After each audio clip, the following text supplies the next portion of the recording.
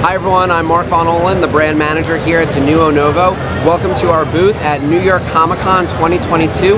We're here at booth 2900 with our high-end Star Wars costumes and collectibles. So I'd love to show you around.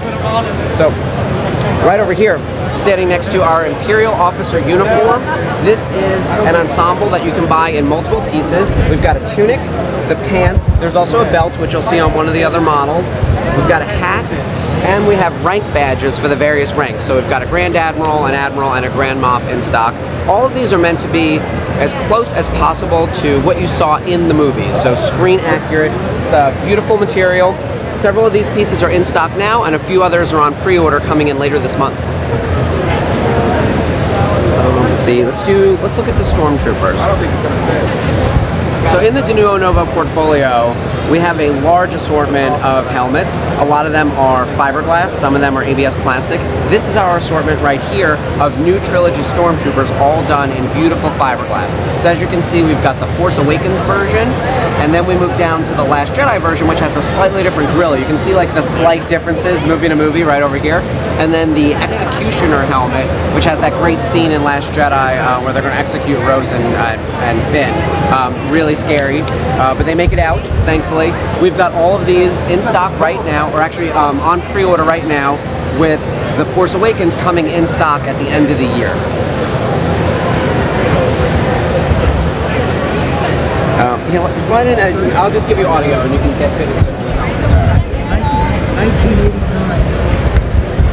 So Denuo Novo also makes a wide collection of X-Wing helmets in ABS plastic, which matches the way it was done in the films. We've got Luke Skywalker, we've got Rey, which is from The Force Awakens, the one she's uh, um, when she's outside of her house, sort of uh, trying on um, the, the built-out AT-AT. Uh, we've also got Gold Leader from A New Hope, Red Leader from A New Hope, and then General Merrick, the Blue Leader in Rogue One.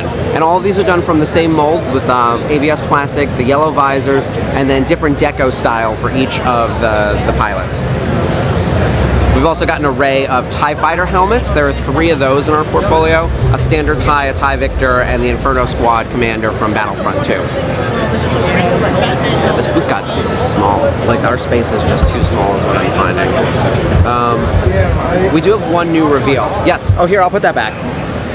Actually, if you want to get a good close-up of the Luke helmet, this is our top-selling X-Wing helmet, Luke Skywalker. Of course, Red 5, you know, uh, he blew up the Death Star. Everyone wants to be Luke.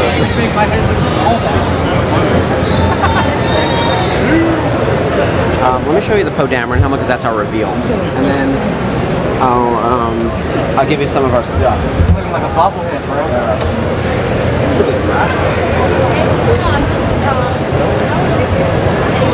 Great for trooping, nice and light. But yes, uh, the X-Wings and the TIE Fighters are all ABS plastic, and then our other helmets are done in fiberglass. Yeah. So this is our new reveal here at the booth at New York Comic Con. This is our Poe Dameron Blue Squadron Leader helmet. This is from Star Wars The Force Awakens. It's made of this beautiful fiberglass, and like most other X-Wing helmets, it also has the yellow visor, fully lined interior like all of our helmets, along with these pads for comfort. Uh, this one just went on pre-order today, and if you visit denuonovo.com, you'll see that we are also running a sale. So if you spend $500 on denuonovo.com, you will save $100. We're also doing free domestic shipping and reduced international shipping.